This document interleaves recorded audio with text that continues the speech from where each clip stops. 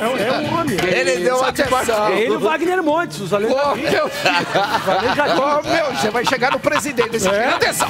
Como eu disse no começo deste programa, número 50 hoje, gente. Programa número 50. Nós vamos fazer o seguinte: nós vamos mostrar para vocês a partir de agora momentos com a vidinha mais ou menos de cada um. Destes animaizinhos que fazem o programa, destes animaizinhos que fazem o programa, vamos começar com ele, o carneirinho esportivo Felipe Andreoli. Olha isso.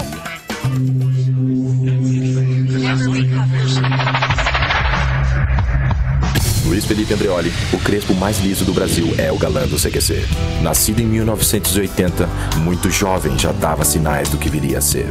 Logo após sua formatura da pré-escola, aventurou-se na carreira artística como modelo mirim.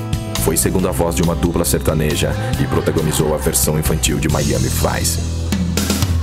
Na puberdade, começou a fazer sucesso com as mulheres, sua marca registrada desde então. A adolescência foi um período difícil para o Crespo, que oscilava entre a euforia e a depressão, tentando negar sua verdadeira identidade. Eventualmente, Felipe tinha ataques de megalomania. E eu, como narrador, câmera, roteirista, Em diretor. busca de equilíbrio, experimentou o xamanismo até encontrar-se como evangélico. Bom dia, Bispo Gerson. Rebelde, questionava o ambiente conservador à sua volta, levantando questões polêmicas e desafiando tabus. Agora eu vou querer criar uma polêmica aqui.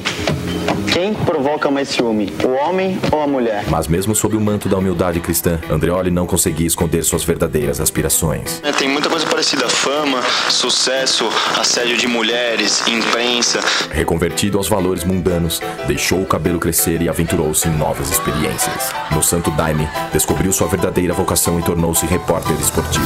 Apresentou programas sobre futebol, foi repórter de campo. A glória o alcançou quando tornou-se o primeiro torcedor da portuguesa a entrevistar a estrela internacional Mr. Bean. Ok, very good. A entrevista com o comediante inglês foi sua carta de recomendação para o CQC. Tá aí, ó, Rogério, o símbolo dessa conquista é o pentacampeonato. Vamos tentar falar com ele.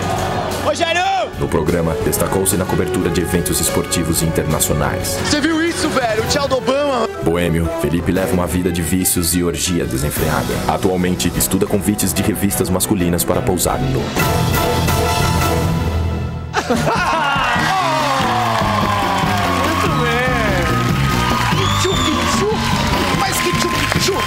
legal, muito legal. Ao longo do programa, gostou, Rafinha? Daqui a Eu pouco é você. vai Eu daqui a pouco, ai, Ao longo Deus do programa, céu. vocês vão ver a pequena história de cada um desses pequenos seres que fazem o programa. Vamos agora para um assunto mais